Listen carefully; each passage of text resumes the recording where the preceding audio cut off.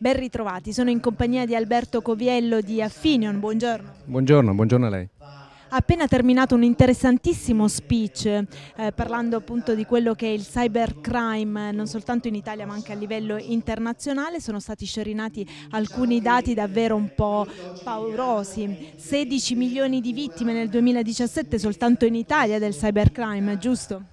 Sì, è un, è un valore molto importante eh, un valore anche aggiornato, quindi che dà la misura dell'entità di questo fenomeno non solo nel mercato italiano ma anche nel mercato globale. Abbiamo citato il fatto che a livello globale quasi un miliardo di persone siano state vittime del cybercrime e questo è un aspetto che colpisce non solo un grande numero di persone ma anche è importante dal punto di vista del tempo necessario per i consumatori per risolvere questi, queste tipologie di attacchi. È stato stimato come mediamente ogni persona oggetto di cybercrime impieghi tre giorni per risolvere il problema che gli è stato creato. Quindi una perdita di valore, di produttività, ma anche di tempo libero che non ha uguali forse in questo momento. Eppure nonostante le vittime del cybercrime continuino a crescere è percepito molto più alto il rischio personale piuttosto che il rischio online, giusto? Allora, il, il tema da questo punto di vista è dibattuto, nel senso che quello che abbiamo riscontrato noi è che c'è una decisa consapevolezza da parte dei consumatori nei confronti del rischio online. Eppure questa consapevolezza non si trasforma nella capacità di capire quali sono gli strumenti da utilizzare per coprirsi da questo rischio.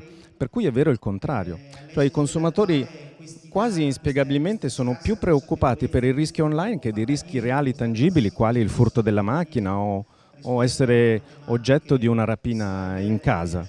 E noi ci spieghiamo questo aspetto proprio con la mancanza di educazione e informazione sulle contromisure da adottare nel caso del cybercrime. Quindi la consapevolezza che il rischio esiste c'è, non c'è la consapevolezza dei strumenti di difesa.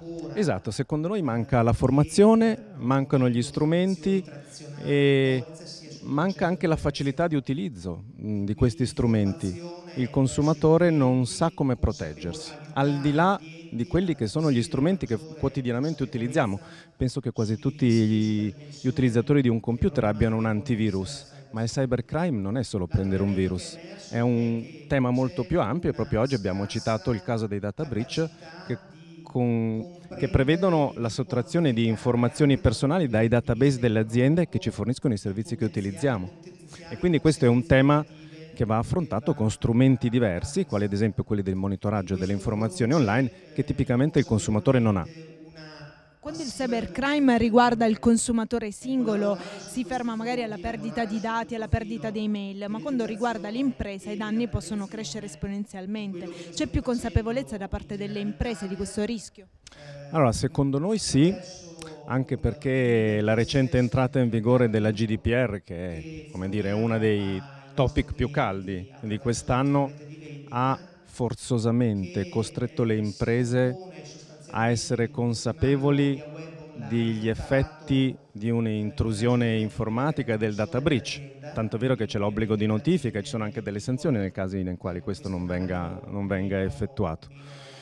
Quindi c'è maggior consapevolezza delle imprese, non sarei così sicuro che ci sia un, anche in questo caso un'adeguata uh, messa in opera di strumenti atti a prevenire e bilanciare questi, questi rischi.